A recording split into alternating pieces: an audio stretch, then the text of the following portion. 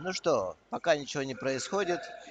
Э, ребята, как положено, присматриваются друг к другу.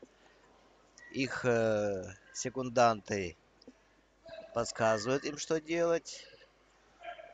Секундирующие ведут себя дисциплинированно. Ну, может быть, это до, до тех пор, пока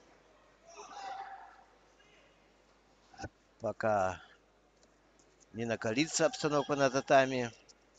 Ну, обоих э, секундирующих я знаю, они сдержанные ребята. Так что, думаю, они будут себя вести очень корректно.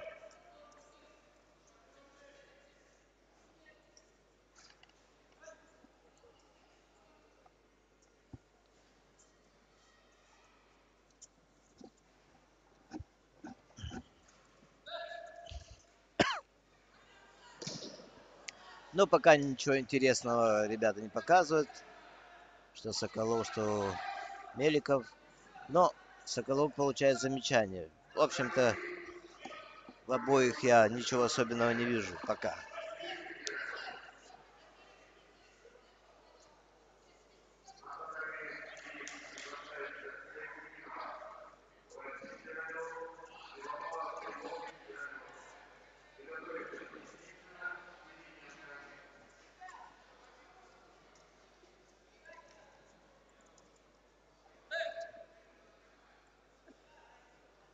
Интерес людей в этом городе к дзюдо достаточно большой, особенно к финальной части. Э, сегодня еще рабочий день, поэтому с утра мало людей относительно. Хотя нельзя сказать, что зал пустой, но не полный, скажем так. Вечером 5 часов, я думаю, татами, вернее, дворец спорта, Ледовый дворец будет полный. Мы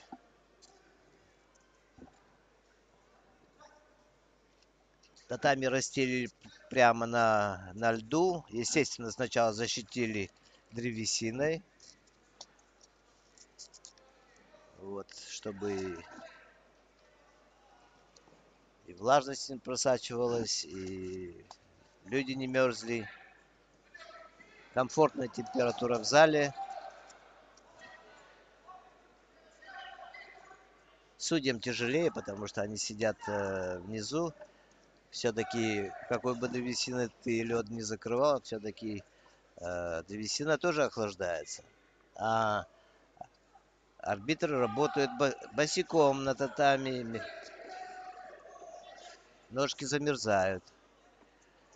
Оба получили замечание три замечания уже борца из Санкт-Петербурга Соколова.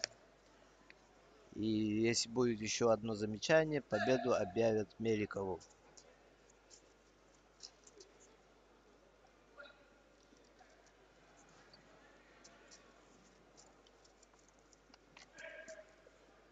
Очень неяркая борьба, даже я бы не сказал, что это борьба.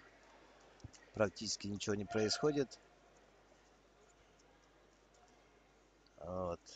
Ну, так.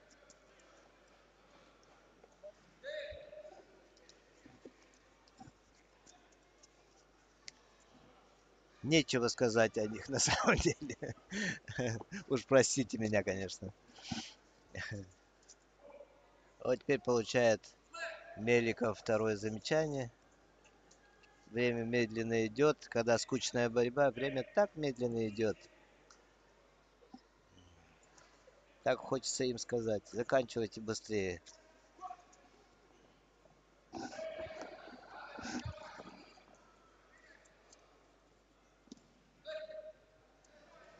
Осталось 17 секунд.